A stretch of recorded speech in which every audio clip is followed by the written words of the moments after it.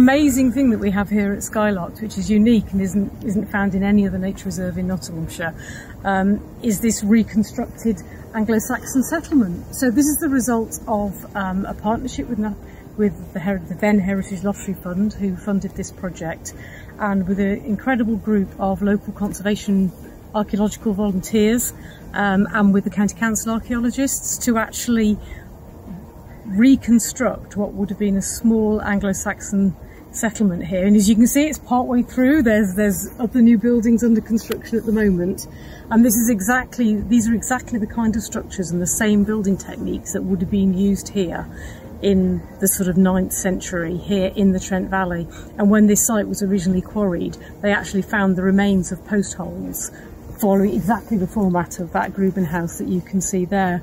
So it's an amazing living archaeology experiment. So this small structure here is a Grubenhaus or a grub hut and these were the kinds of buildings that were often used by um, people to do sort of various skills, artisanal skills and things like that within a settlement. So the family, when their animals would have lived in this kind of structure here, and then um, they might have done things like tanning or weaving or something like that in these smaller structures. So in fact one of these has got a loom that's been reconstructed by the archaeology volunteers in it.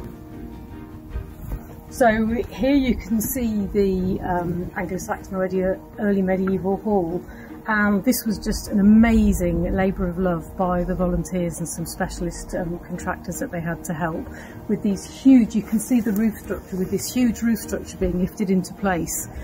Um, and you can see the walls are constructed from wattle and daub that's then had a lime wash um, mortar treatment which is using a centuries old recipe. You know the clay is exactly the sort of clay in the daub here that's been found historically in this part of South Nottinghamshire um, so everything that could be done to make this as you know, traditional and vernacular as possible was done. It's an absolute labour of love by the volunteers and they've you know, produced these uh, amazing bits of living history in our landscape here at the Nature Reserve. So this is an Iron Age burial mound that's been created as part of the experimental archaeology here by the archaeology volunteers and the County Council's archaeologists.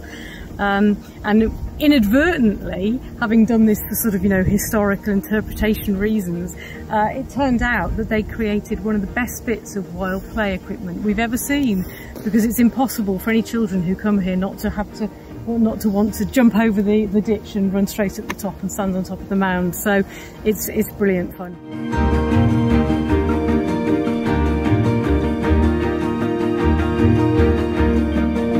So this is the old part of Skylarks, the original reserve that the Trust has owned for over 30 years. Uh, and as you can see, there's some beautiful wetlands here, there's some mature woodland and scrub. Um, areas like this reed bed that's really valuable for wildfowl, for ducks and geese. Uh, lots of dragonflies and other interesting uh, aquatic invertebrates, water beetles and bugs and things like that. So if you look around, you can see a dragonfly there. Um, so this is a beautiful spot, obviously so close to West Bridgford, so close to where so many people live. Um, people could just come out and visit and it's all open to the public.